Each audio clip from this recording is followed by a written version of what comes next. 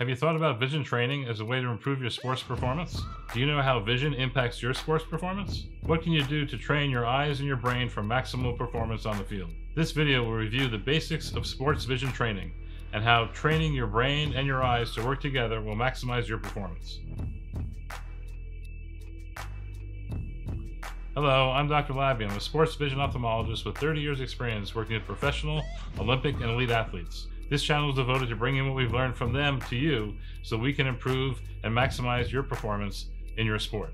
In other videos on this channel, we reviewed how visual abilities, visual-based brain abilities, can impact your performance. We've also reviewed recent medical studies, which give us new insights into how vision and visually based brain decisions and motor actions can improve your sports performance.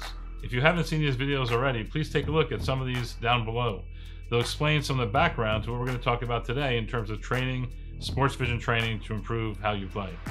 In the coming videos, we're going to give detailed instructions on how you can use different systems, different techniques to maximize your vision and your visually based abilities.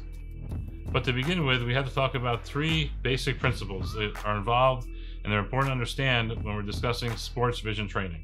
Timestamps for each of these things is below so that you can skip ahead or skip back if you need to but each of the three is critical to your understanding. The first thing to appreciate is that different sports have different visual needs. In fact, many of the training systems that are out there now are designed to be used by everybody regardless of the sport, and that's not going to be the most efficient way to train your abilities. In a recent article that we discussed earlier on the channel, we summarized our experience with eight different sports in the U.S. Olympic team for one of the summer games recently in Beijing. In that report, we summarize the differences in visual ability between several different sports, sports that are very different, such as archery or softball or boxing or fencing, volleyball, all those different sports are very different in terms of what the target is, how fast the target is moving, what kind of motor action you have to do to intersect that target and to be successful in your sport. Certainly, training the same for all those sports just doesn't make sense. For example, archers need to have very sharp vision. Their target is far away. Their vision needs to be probably better than 2020 or at least 2020. But in fact, they don't need to have very good depth perception because their target is flat. If we contrast with the boxers, for example, boxers don't have to have sharp vision because their targets are right in front of them. But depth perception becomes critically important for them to be successful. So as you can see, these two different sports, archers versus boxers, have different visual needs. Similarly, fencers have different visual needs than softball athletes. Track and field athletes have different visual needs. Each sport has a set of requirements, a set of skills that must be perfected and optimized to perform at your best level. I'm often asked, what sport has the best vision? Well, that's a that's a really tough question because, as we just mentioned, all sports have different levels of vision. So there isn't any sport that has the best vision. In fact, what you want is the optimal vision for your participation in that particular sport. In fact, a sports vision training program or even a testing program really can't be the same for across the board for all sports. Any third party producers of equipment that are sold to different sports and different athletes across sports just isn't fully testing those people to what they need to perform. It doesn't make sense. For example, if you go to the doctor and every patient who comes in to see the doctor gets the same prescription of medication or the same eyeglasses prescription, it might work for one or two people, but it's certainly not going to work for everybody. So why would we want to test the same way for everybody or treat or train the same way for everybody. It needs to be individualized to the person, the athlete, and certainly to the sport in general. Secondly, we have to think about the difference between correcting visual abilities and enhancing visual abilities. Think about what's normal. Well, on this average person on the street, 20/20 vision is normal. And if you're a baseball player, normal vision is 20 over 12 in order to be successful hitting a baseball. Well, if your vision on the street is 2030 2040, that's not good enough, and you need to improve that with glasses at least to 2020, which is normal. If you're a baseball player, 2020 isn't the answer. The answer is 2012. And if you're less than 2012, you want to do your best to improve it to get you into the normal range of vision. That's different than thinking about someone who already has that 2020 vision or somebody who has 2012 vision in baseball, for example, and improving it further if it's possible. Do we think that there's a decreased rate of, say, car accidents if you're driving with 2020 or 2015 vision? I suspect there's no difference. That the factors that are involved in car accidents are outside of just sharpness of vision as long as you have the minimum required vision to drive successfully. Same thing in baseball. If your vision is 2012 and you want to improve to 2010, if we can do that with a pair of lenses uh, for each eye, then that's good. You'll see more sharply, but is that going to have any impact on your batting? I'm not so sure about that either. And so correction to normal versus enhancement from the normal to better is a distinction we want to make. And we certainly don't, if we're training something, we don't want to spend time training a task that you're already good at, you already have the normal ability at, just to make it better without evidence that that's going to do anything. I'd rather you spend your time doing that in other areas that have a better chance of improving your performance. And so, whenever we're discussing a sports vision training program, we're always thinking about what the normal is for that sport, what the normal you need to perform well in that sport, and whether you're below that, or at that, or above that. That will tell us whether that's a function, that's a factor, that's a skill that we need to train or not. Let's think about another example.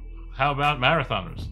Would you want a marathoner? Do you think it's good for a marathoner who has to be very thin, very light, very nimble, able to go long distances, to spend a lot of time in the gym uh, getting good at bench pressing, maybe 200, 300 pounds of bench pressing, or getting very strong legs from heavy squats with, with a kettlebell? That doesn't sound like that's going to really help the marathoner win a marathon. If they're very muscle bound and they're very heavy, they're not going to be able to go the marathon distance successfully to win the race. But on the other hand, if they're a different athlete, let's say a lineman in football, that's something that could be very important to have the strength, to have the mass, to have the ability to perform their, their task successfully. So we really have to think about this idea of comparing enhancing more than normal, being less than normal, and what's proper for each sport. The third item pertains to what exactly do you train? As we sort of hinted at already, what tasks you actually train become important, not just whether it's normal or less than normal or enhanced. Actually, what you train is important as well. For example, there are a lot of systems out there, a lot of people out there trying to sell training of the convergence system, the ability to move your eyes crossing inwards as something comes closer to you. Well, that's certainly a skill that's important. If you're reading, convergence is very important because you're looking at the book right in front of you. But in fact, most sports are played at a greater distance away, and there isn't much convergence need when you're playing sports. Think about it on a tennis court, think about it in a baseball diamond, think about it in a soccer pitch. Everything is happening quite a distance away from you, not anywhere near the point where you have to converge your eyes. So these systems that are being sold commercially or these training programs that doctors are putting together, uh, training convergence, or using a string with, with beads to get you to be able to jump back and forth to converge and diverge, converge and diverge, move your eyes forward and back a short distance in front of you really doesn't pertain too much to the sport, pretty much all sports that you're playing. Think about returning a serve from tennis. You need to be able to see the the opponent, how he holds the racket, how he tosses the ball, how the face of the racket hits the ball, the initial movement of the ball. All of that's happening on the other side of the court, where your eyes hopefully are perfectly straight looking at that ball, not at all pointed inwards uh, at something closer up. And so convergence training is a great example of some of these commercial systems that train, some of these programs that suggest training that simply don't have any relevance to the sport probably are a waste of time for the athlete and probably could, time could be spent better to have better improvement and better function. So to conclude, let's put this all together. First of all, we have to make sure that the skills of your training are relevant to your sport. Secondly, we have to keep in mind the idea between enhancement and correction, where correction sounds pretty much important to, to have corrected so you're seeing as well as your peers are, your competitors are on the field. But enhancement, there's less information, there's less data, there's less connection between enhanced vision and performance on the court or on the field or in your sport.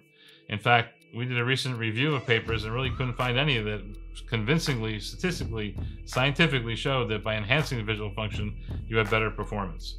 There certainly are reports of differences between abilities and different performances, that's true, but that's correction, that's not enhancement. And thirdly, make sure that the skills that you're training, what you're trying to make better, are actually relevant to the sport you're playing. It doesn't make any sense to train something that you're not going to be using in your sport to perform at your best. Please watch our channel in the next several weeks to see different systems and how they can be applied to your sport. Some systems might be applicable, some may not. We'll try to guide you to know which ones make sense and we'll try to explain why they make sense for you to spend your time and probably your money in, in buying those those training systems so that you can get better in your sports.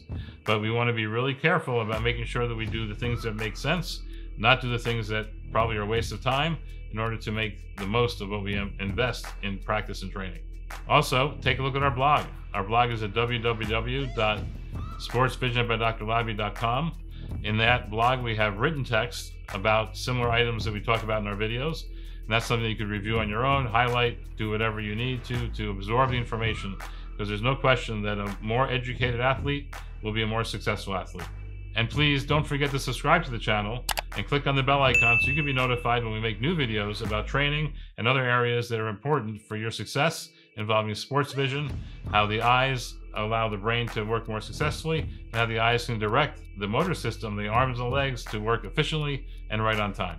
Thanks for watching, and we look forward to seeing you in our next videos.